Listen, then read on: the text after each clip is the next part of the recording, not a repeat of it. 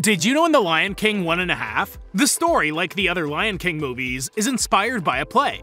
Whereas the first Lion King movie is derived from Shakespeare's Hamlet, and The Lion King 2 Simba's Pride is inspired by Shakespeare's Romeo and Juliet, this movie's inspiration is Tom Stoppard's Rosencrantz and Guildenstern are Dead. Just as the play tells the story of Hamlet from the perspectives of two minor characters, this movie tells the story of the first Lion King movie from the perspectives of Timon and Pumbaa, respectively. Subscribe for more videos.